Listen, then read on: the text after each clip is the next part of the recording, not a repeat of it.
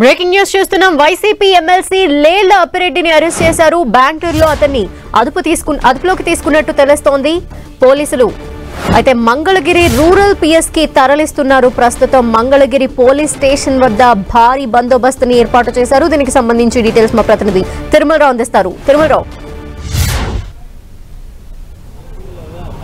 ధనలక్ష్మి ఏదైతే ఉందో టీడీపీ కార్యాలయంపై దాడి కేసులో ఇప్పటికే ఇది ఎవరైతే ఉన్నారో ప్రధానంగా నందిగామ సురేష్ అదేవిధంగా లేళ్ళ అప్పిరెడ్డి దేవినేని అవినాష్ ఆ, రఘురామ్తో పాటు ఇతరులు ఉన్నట్లుగా పోలీసులు వీటికి సంబంధించి గుర్తించడం జరిగింది. అయితే దీనికి సంబంధించి హైకోర్టులో వీళ్ళు ముందస్తు బెయిల్ పిటిషన్ వచ్చారు. బెయిల్ పిటిషన్ కూడా రద్దు చేయడం గత రాత్రి ఎవరైతే ఉన్నారో మాజీ ఎంపీ నందిగామ సురేష్ని గుంటూరు జిల్లా సంబంధించి మంగళగిరి రూరల్ పోలీసులు అరెస్ట్ చేసి తీసుకురావడం జరిగింది.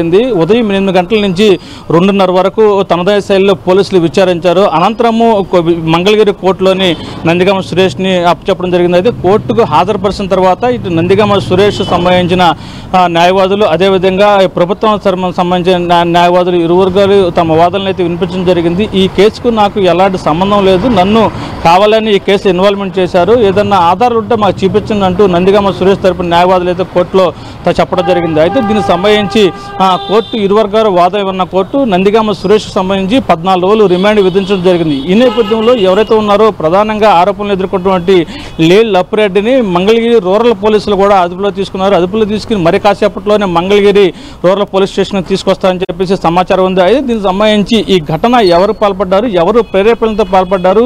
ఎందుకు ఆ, దాడికి వెళ్ళక ముందు సీకే కళ్యాణ కళ్యాణ మండపంలో మీరు సమావేశం ఏర్పాటు చేస్తున్న కోణంలో వివిధ కోణంలో అయితే పోలీసులు లేళ్ళ అప్రేట్ను కూడా విచారించే అవకాశం కనిపిస్తుంది ధనలక్ష్మి.